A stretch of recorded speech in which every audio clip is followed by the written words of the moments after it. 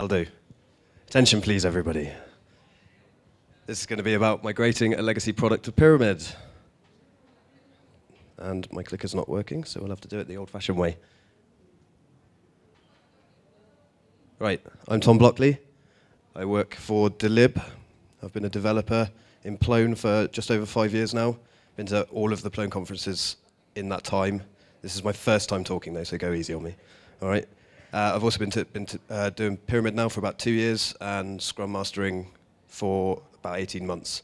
Before that, for my sins, I was a Java developer. So, uh, who are Delib? with a other Plone company in Bristol that's not Netsight. Uh, you might know us as Team Rubber, but Delib is the part of it that does Plone. Uh, we've been going for quite a long time now, over 10 years, 12 years now. Uh, we do consultation solutions for government. Plone has been a part of that for over eight years. Uh, we were the first to use Dexterity in a production site. That was before I even started about six years ago. Uh, yeah, yeah, bleeding edge. It was a desperate act. Um, and yeah, we've got three main products, two of which are based on Plone, one of which isn't based on Plone. That's the one we're migrating. We've got a lot of clients. I'm going to rush through some of this because I've got quite a bit to get through and I don't want anybody to miss their lightning talks. Uh, we've dealt with quite high volume stuff in the past. Uh, over 47,000 registered users on a Plone site with 110,000 contributors in three months. So I'm going to be talking about this stuff. Taking an old product to the Pyramid framework, the choices we made about that, the problems we had, how we did it in an agile way, uh, we set out to translate it right from the start and trying to do test-driven development and theming it. That will be the Diazo bit. So, it's been around since 2005, this product, Budget Simulator. It's written in the ZMI with cubes, so you can imagine that's uh, a really joyous thing to work on. And it's completely customizable. That's one of the reasons why it was in the ZMI in the first place, and it's one of the strengths of the ZMI. You can actually customize stuff on a per client basis as long as they don't mind not getting any updates to the product. Not that there have been any updates for the product. Uh, 60 odd clients, and it's ugly. It's really ugly. It's that ugly. It's brown. All right? That's what it looks like. And that's what it's looked like since about 2005. It hasn't really changed. So, as you can imagine, it was about time to bring that up to date a little bit. So, in May this year, we decided that we'd completely rewrite it from the bottom up. We chose that we would do that in Pyramid. And there were a few musts.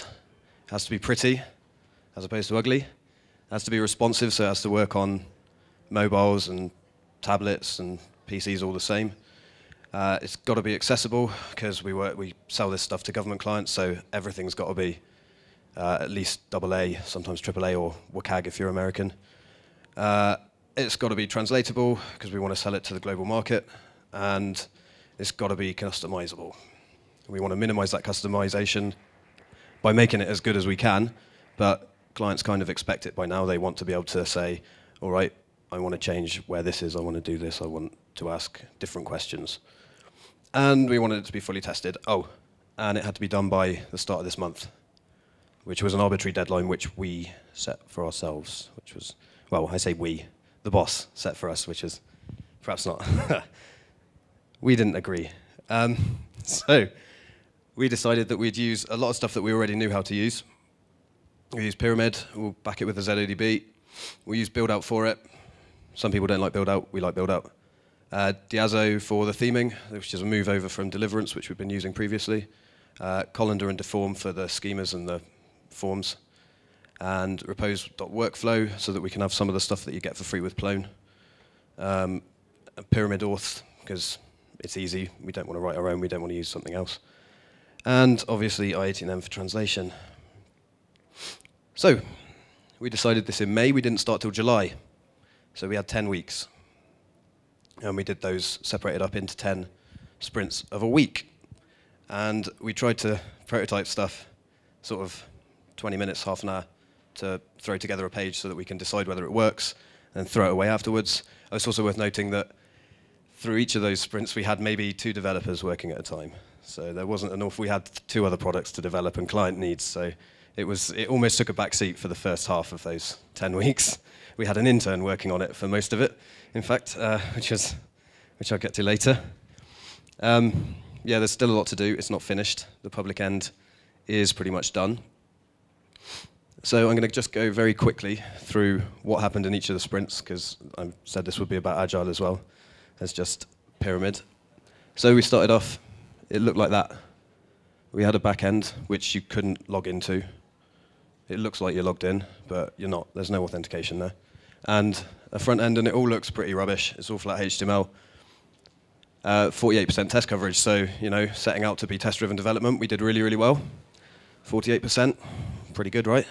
No, not so good. It was basically a hello world with a lot of prototype code.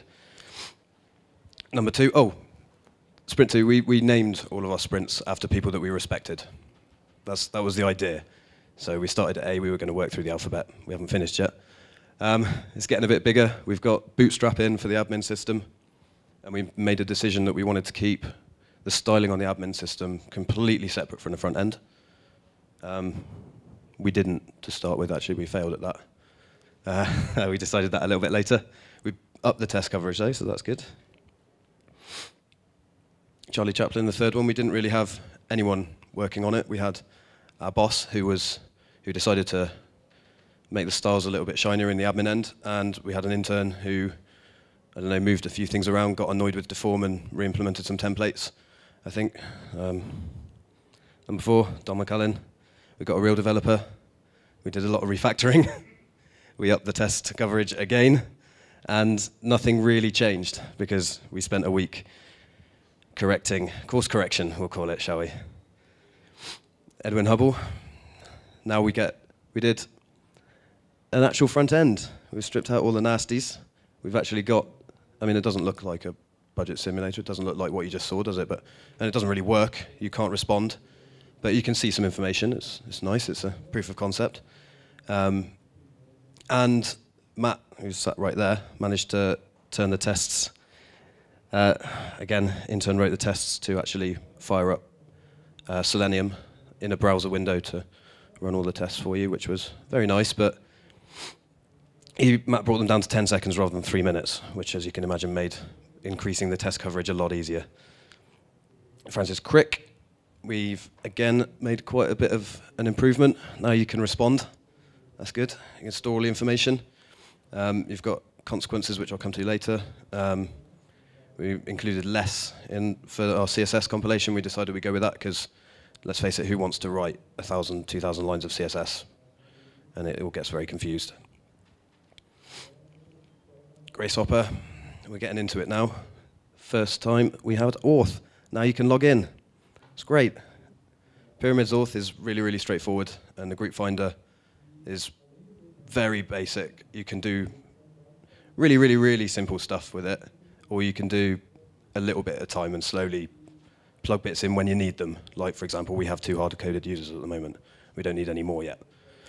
Um, and we put quite a bit of fine-grained control in because we, we realized even at this point that quite a few things weren't going to get done in time for the administrators who were going to be logging in for the clients. So we took out demographics and appearance.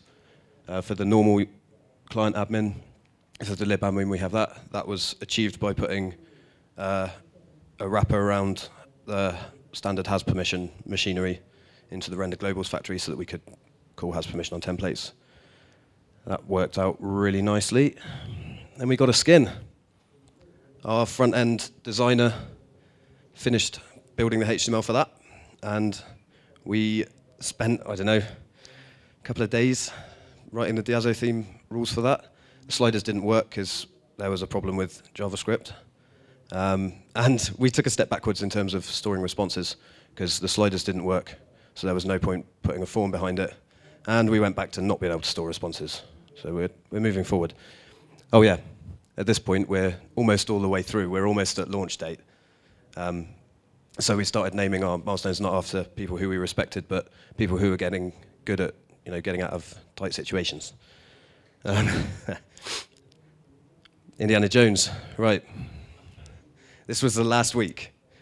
On the Thursday of this week, we, we had to go in and have our launch event. We were dem demonstrating it to people who might be buying it off us and to people who we respected in the community. So, as you can imagine, we, we spent an hour or so frantically deciding what we didn't have to finish and what we could just turn off. So we turned off the admin. We didn't demo that. That was an easy win. We got the sliders fixed. That all worked. A nice little. Oh, we got responsive as well. That was what it looked like on an iPhone. It only worked on an iPhone or an iPad or a Mac. We didn't. It didn't work on any of the other browsers. I've got an S2. Didn't work on that. Not even slightly. Still doesn't. Um, but it will.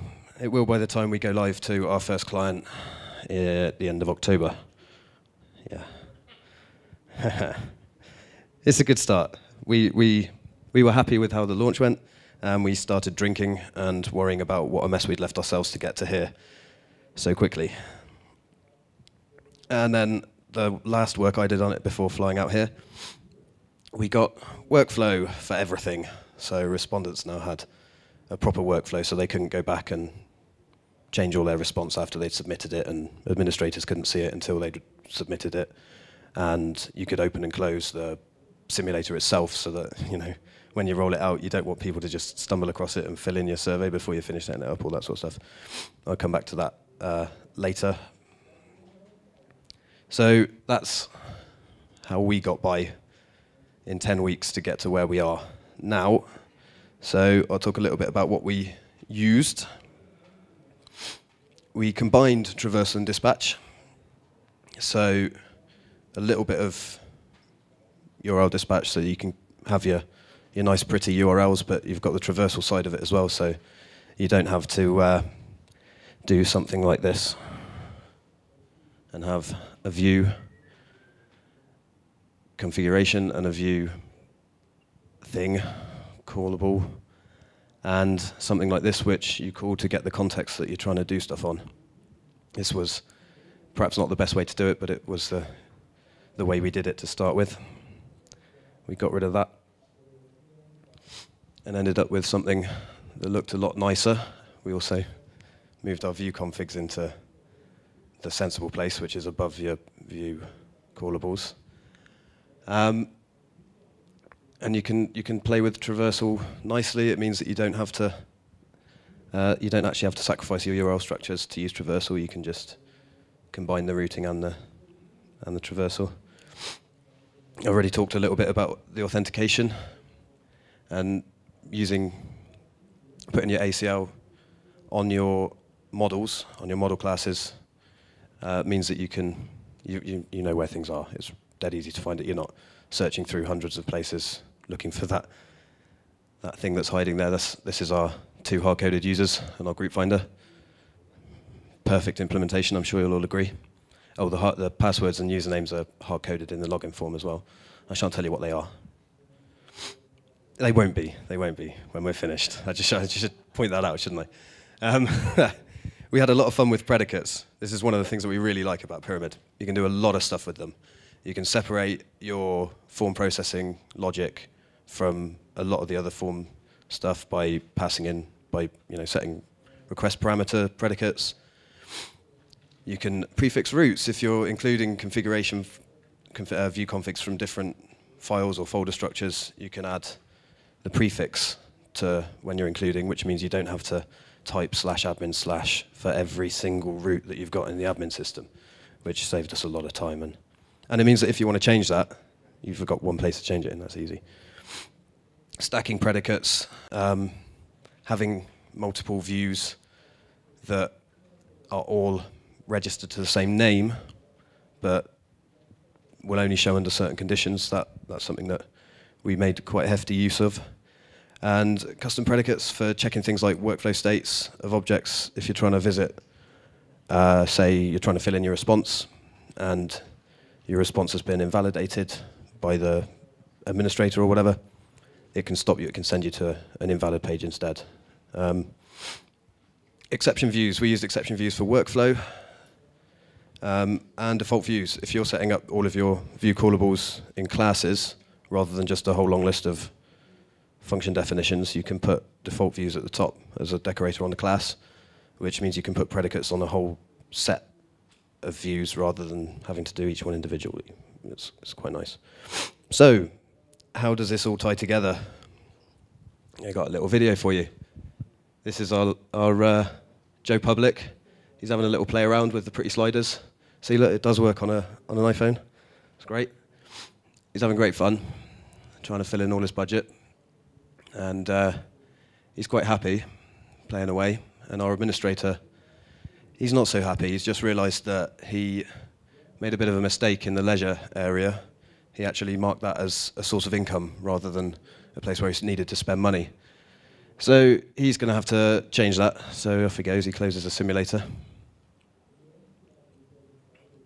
Whilst our uh, member of the public's just reviewing the effects. You can't read it, but it says that libraries are going to all be closed down. Um, we don't want that. So he's going to go back. And um, this is one of the predicate stacking. The budget, the consultation's closed the workflow state of the consultation is closed. That's fallen back. Meanwhile, our administrator's going through and fixing his little mistake. And our end user's fairly happy. That message there says, you know, hang around for a bit. It'll open. You'll be all right. He's happy. He's changing things. I made this. This took too long. I thought I'd talk for longer about this, and then I ran it back, and I didn't have time to re-record it. So, so he tries to open the simulator. At this point, a workflow exception gets called, and we register an exception view on it to let the administrator know that there are responses in the system. Because if you go and publish your consultation having changed something as important as uh, a source of income to a source of expenditure, you need to make those responses that you've already got invalid because it's changed the entire meaning of the consultation. You can't, you can't accept the responses that have already been put in. So he's going to reopen the simulator and validate all the responses. And our end user gets forwarded to the third level of the, uh, well, the stacking, which is telling him that his response is invalid. He gets instant feedback. He knows now that although all of that work he put in, balancing up his budget, has all been thrown away, you know, the, the council that are asking him for his opinion care enough to tell him at least and suggest that he starts again. So that covers um, changing the ACL on a simulator in, in line, um, multiple predicate stacking, uh, workflow errors, all the stuff I was just talking about, which I can't remember what any of it was now. Colander and deform, I don't really have very much to say about that. They're just really easy, it saves you a lot of hassle. Um, we've got a demographic section which is now and often one of the things that clients want to change is the set of demographics questions they ask. So the only the only place where any of that is touched is in the schema for the demographics. So you've got one place to go and edit it. If you want to add a field, you change it there. Everything displayed in the admin system just interrogates the schema uh, to find out what it's supposed to be displaying and in what order. Um, and the storage for the demographics was very naive. I think it was a persistent mapping uh, in an OOB tree. Um, so it doesn't care what it's storing either. Only, only the schema cares what, what's going on, which works quite nicely. Diazo, if you don't use Diazo with Pyramid, you should, I think. Um, it's great. You can build absolutely flat HTML. You don't have to style it at all. And then that gives you effectively an API, which you can just send to anyone. You can say, here you go, do something with that. Um, and then you can you can have a designer and a front end developer doing their thing completely separately and hook it all up at the end. You can turn it into anything. And you can take any idiot's HTML and do it as well, which is nice. and we did. Uh, oh, God. Jamie, if you're watching this, I'm sorry. He's a nice guy. Um, and you don't have to pollute your app with compromises for, for the sake of theme because you can, you can work your way around those things with uh, XSL when you want to get really elbow deep in, in Diazo. So, to cover off, what did we really like about Pyramid? Pretty much everything. There were a few little glitches along the way, but the auth and group finder stuff's dead easy. Predicates, you can, you can just do anything with them. It's great. They're brilliant. Um, the documentation. Documentation I hadn't talked about. There wasn't any particular place to talk about it except in something that's good about Pyramid, the docs are good. There's generally speaking only one way of doing things that's documented, and that way of doing things is documented well, unless it's a choice that you want to make, like between traversal and dispatch. Maybe there could be a little bit of documentation about combining the two. I don't know. I didn't search for any, actually. um, there is. Brilliant. Even better. I shall read it and make sure that we did it right. Uh, everything runs in one process. Like if you're doing a Plone site with your, your instance and maybe deliverance, and you've got two separate processes, and if you're running that on a ZEO as well, although I suppose we'll be breaking that out into a ZEO when we go production with it, because we need to be able to get into PShell. PShell, which is it's bin instance debug, and if, if it wasn't for PShell, I think Pyramid would would suffer greatly, um, just for the sake of excuse me, being able to get into your storage without having to do it through the front end. You can get in there without having to hack in a PDB statement on a live site. You don't want to have to do that. That's not a safe way of doing things, especially when you forget to delete it afterwards. Um, test run fast. There's not a lot of boilerplate. You don't have to do very much to get it working and to, to prototype stuff. So at the start, I was talking about uh, our list of requirements. So we'll go through those and compare it's got to be pretty. Well, it was also pretty quick to make it pretty in lots of different ways, using less. We managed to put together three demos in three different color schemes in about 10 minutes before the launch, which was nice and straightforward. There's the first one. It's nice and blue. The second one is a red one with ambulances. This one is like a bee. It's quite nice. Um, I, mean, I don't have much to say about it. I'm just showing, you know, you don't have to do very much to make things look pretty. Uh, it's got to be. I'm doing pretty well here. I've, I've, thought this would take longer, so I might slow down. Um, it's got to be responsive. So we haven't written an awful lot of JavaScript. One of the things that we wanted to do was minimize the number of page reloads that had to happen for people to use a site because you don't want people getting bored waiting. Uh, all the calculations are taking place in JavaScript. Um, but there's a lot more that we can do there. We, we just haven't done it yet. Uh, we do have responsive layouts, and they do work. They're being redesigned again. Um, and, and they're working all right. They're good. It's, it's great. We've achieved our goal there. Accessibility, well, the color schemes. We've got a nice set of default themes you can choose to make sure that your site's accessible. What we haven't got is an actual accessible site yet. We haven't run an audit on it. We're just, we know that there are some places where it's going to fail, and those need dealing with before we can really sell it to a client.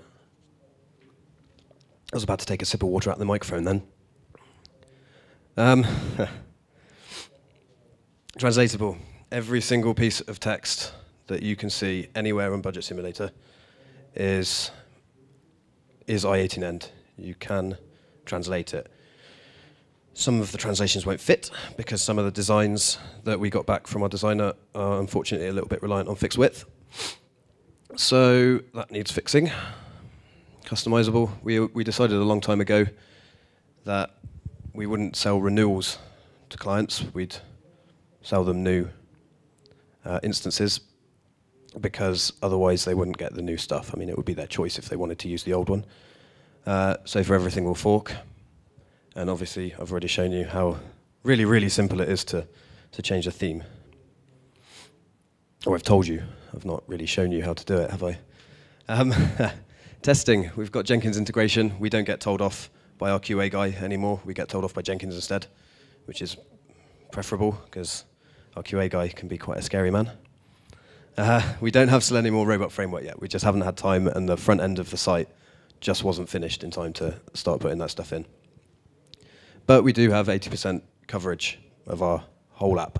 In fact, by the end of uh, the Judi Dench milestone, by the end of the work that we've done up until now, nearly 50% of our Python was in tests, which I don't think is a bad thing.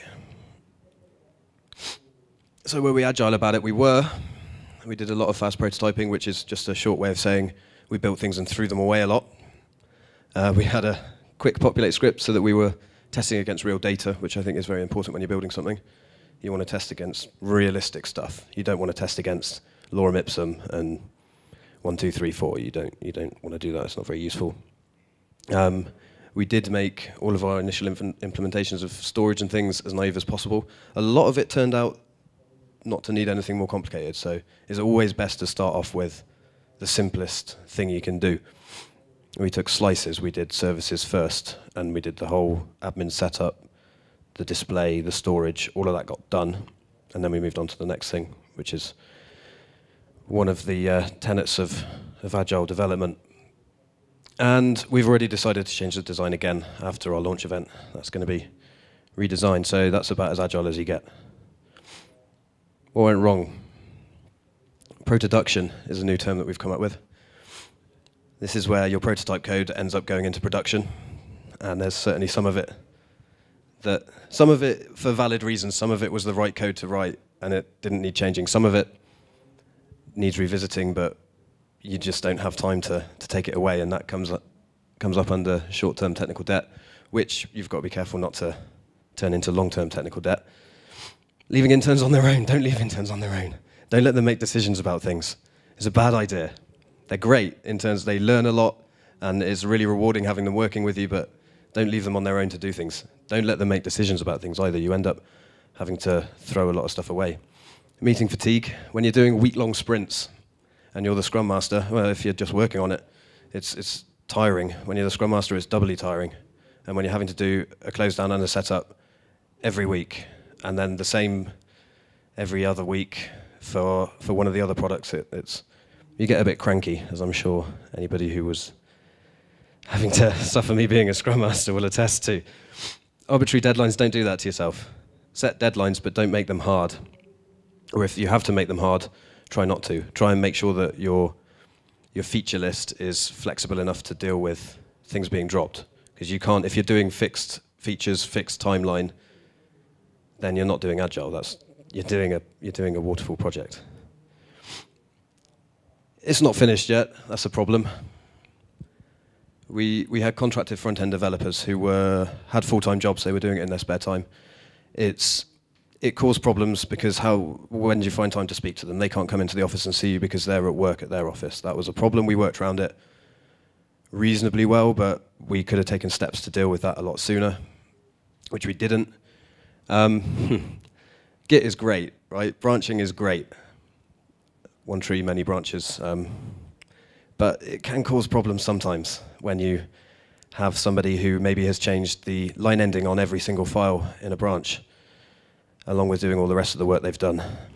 Uh, and rebasing. Rebasing can be really, really painful sometimes, especially if you've got rebase on automatically in your Git config.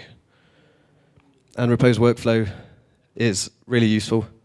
The ZCML side of it isn't quite complete, and it, that became a problem for us, which has now become a problem for Matt Wilkes over there because he's now the maintainer for it. But you can solve these problems, you know? You just have to solve it yourself. Um, so that's, that's it from me. I got told 10 minutes about eight minutes ago, so you've probably got time for a few questions if you want.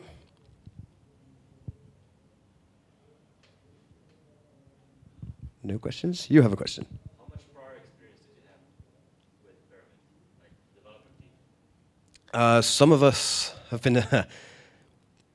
a lot of the stuff that I'd done for Pyramid before was very my first Pyramid app, and looking back at it now, you can tell that it was my first Pyramid app.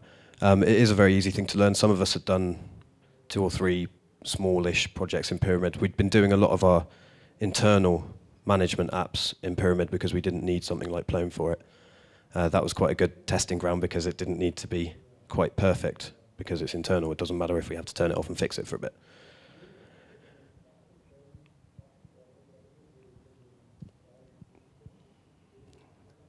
No more questions. Excellent. Well, then that's me done. Thanks for listening.